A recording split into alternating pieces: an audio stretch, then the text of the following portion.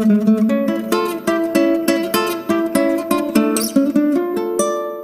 हूँ Santosh Devi, Priyanka knowledge bank में आप सभी का स्वागत है।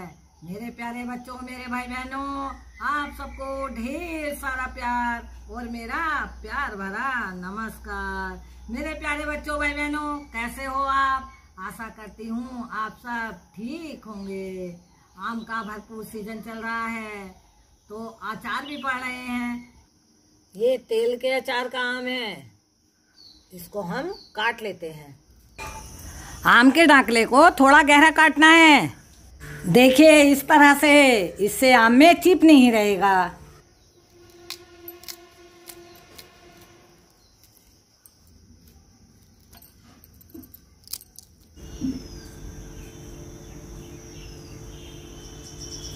हम ढाई किलो आम का अचार बना रहे हैं।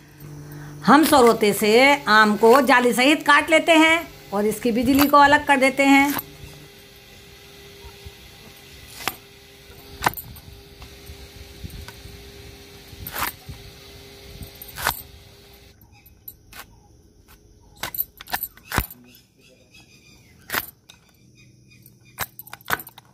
देखिए, आम की बिजली को अलग कर दिया है। अब आम को एक साफ़ सूती कपड़े पर पाँच छः घंटे के लिए धूप में डाल देते हैं। आप बिना धूप दिखाए भी आम का अचार डाल सकते हैं।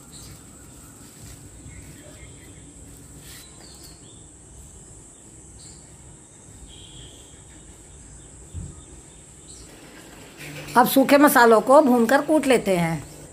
100 ग्राम धनिया 50 ग्राम जीरा 50 ग्राम सौंफ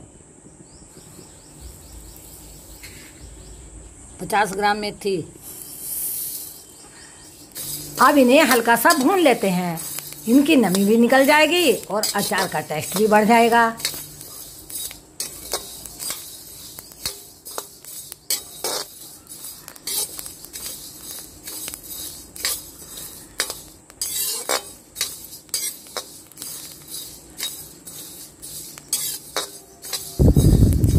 मसाले हल्के से भुन गए हैं? अब इन्हें इमानजिस्ते की सहायता से कूट लेते हैं।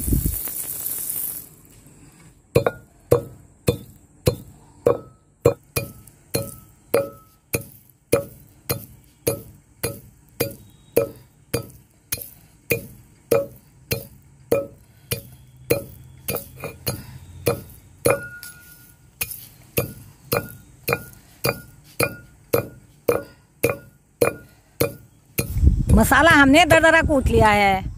ये देखिए। आम भी हल्का सा ड्राई हो गया है और इनका पानी अच्छे से सूख गया है।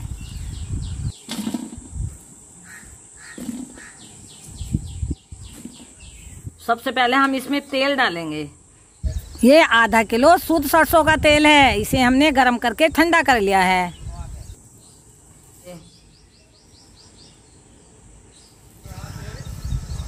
अभी हम तीन चार चमचे तेल मिलाएँगे। अब नमक मिलाएँगे, नमक थोड़ा ज़्यादा पड़ता है अचार में।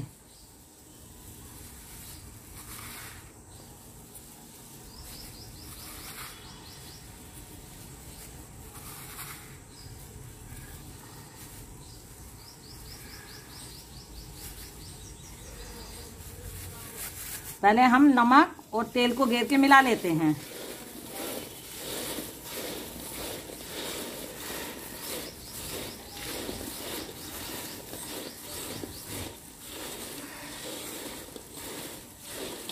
अब कूटे मसाले डाल लेते हैं।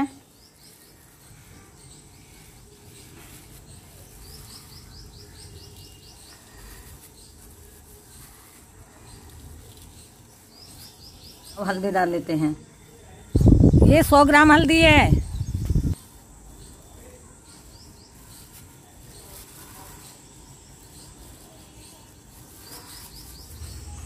अब कुटी लाल मिर्च डाल देते हैं, ये भी सौ ग्राम है। मिर्ची अपने हिसाब से कम ज़्यादा कर सकते हैं। दो चम्मच काला जीरी।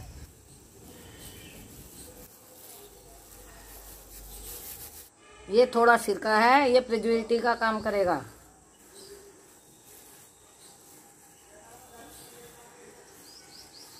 अब इन सबको अच्छे से मिक्स कर लेते हैं।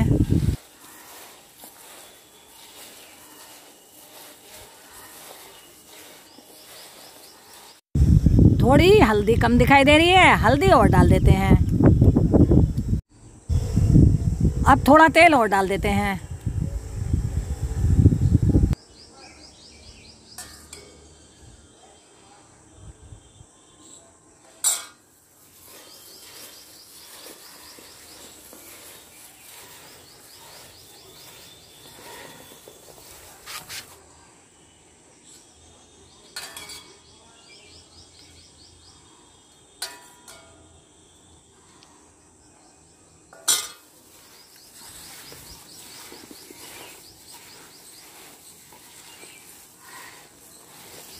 मसालों की मात्रा आप अपनी इच्छा के अनुसार कम बढ़ती कर सकते हैं। किसी को अचार तीखा पसंद होता है, किसी को कम तीखा पसंद होता है। लेकिन अचार तीखा ही होता है।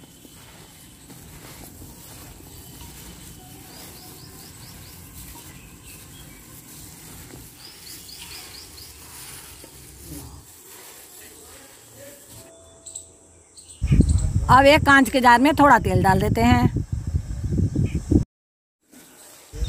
अब अचार को इसमें हम भर कर रख देते हैं। मेरे प्यारे बच्चों, मेरे भाई बहनों आप सब इसी तरह से आम का अचार डालना और अपना अनुभव प्रियंका नॉलेज बैंक पर ज़रूर शेयर करना। मेरे प्यारे बच्चों, मेरे भाई बहनों हमारे चैनल के सदस्य ज़रूर बनना, हमारे वीडियो को लाइक करना, कमेंट करना, शेयर करना। अगले वीडियो में फिर मिलेंगे एक नई रेसिपी के साथ। खुश रहो, आनंदित रहो। Bye bye